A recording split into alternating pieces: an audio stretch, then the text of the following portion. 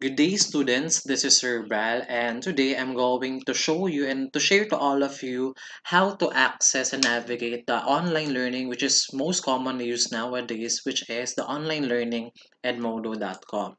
So, kaming teacher nyo ay naniniwala na ang learning hindi lang natatapos sa apat na sulok ng classroom. Wherein, with advancement of technology, we need to be mindful or be aware of the online learning apps that we could use online. So today I'm going to teach you the step-by-step -step procedure on how to access the edmodo.com.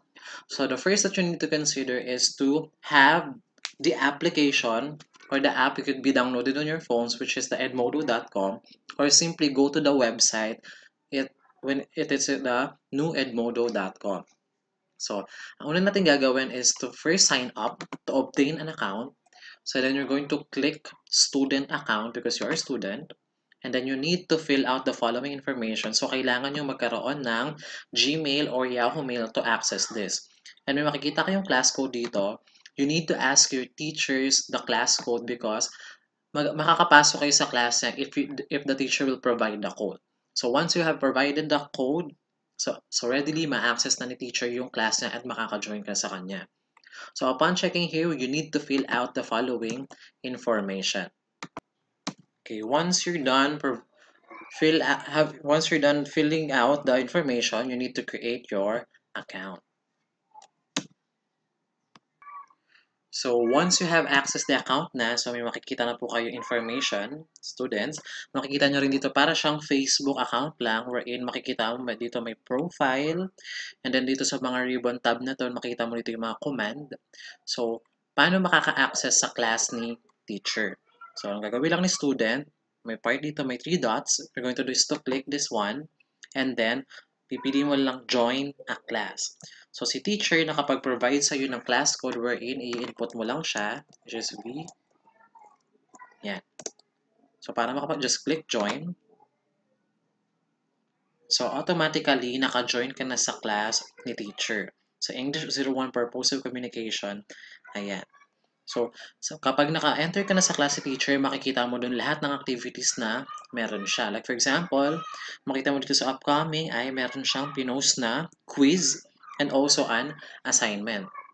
So that is the first step on how to navigate Edmodo is to enter a class. Okay. The next one is how to post your activities online.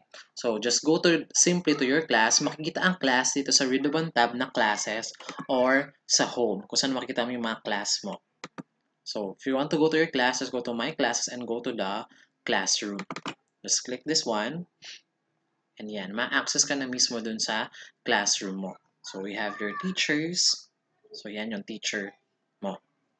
So, just go to the class. And then, makikita yung activities. So, si teacher, nakapag-post siya ng mga activities niya. Yan. So, you can like and also you can give comments sa binigay ng teacher. So, ayan. So, another one is, nag-post si teacher ng quiz. So if you would want, the next step on how to do it is to take quiz. So take quiz.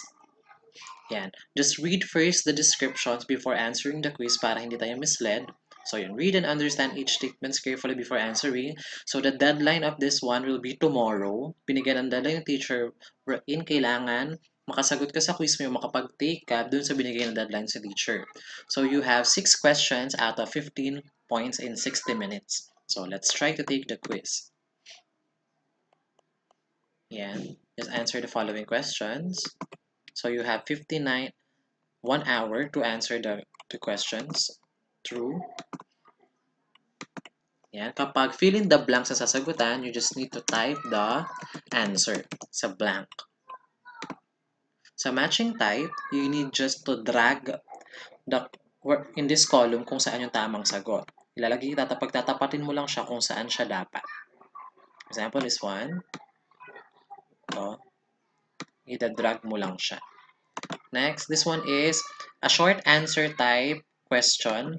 So, kailangan meron sagot si, si student na wherein mas, mas ma-expound pa yung hinihinging concept ni teacher. So, next. This one is a multiple answer wherein dapat marami kang pipiliin na sagot. So, if you are done, pwede mong balikan pa rin siya kung di kung di ka sure sa mga sagot mo, basta be mindful of the time. So, if you're done, just submit the quiz and mag-run through na yan sa'yo at makikita mo na yung quiz mo. So, let's see kung ano yung naging result. Click review. So, you got 8 over 15. Makikita mo kung ano yung mga tamang sagot. And dito sa short answer, since this one is short answer, kailangan na explanation, hindi pa siya graded. Si teacher na mismo maglalagay ng grade. Sa partial, so ayan. So this is your how to take a quiz and Edmodo. So next step naman is on how to um, answer an assignment Edmodo. Again, just go to your class and go sa post kung may pinost si teacher. Yun, may pinost si teacher na assignment number 1 in English 01. So open the quiz So before answering anything, check mo muna yung description kung kailan yung due date. It be tomorrow, 11.59 p.m. So that's the subject. So para makapag answers ng assignment kay teacher, pwedeng gawin mo ay you attach file. It could be a file from your computer, from web, or file from library, or to create na lang. So kapag text response, you simply answer here in the provided blank. And also, pwede rin naman mismo sa Microsoft Word. Let's see. Paano pag siya sa Word document? So, mag-locate siya sa Microsoft Word para makapag-take ka ng or paano makasagot ka ng assignment. So, let's take a look on how. For example, sample answer dun sa assignment, automatically, kahit anong gawin mo dyan, ay magsasave na siya kay Edmodo. Kung babalikan natin yung quiz mo, ayun na siya.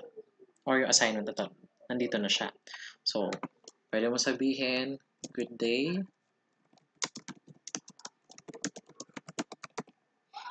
This is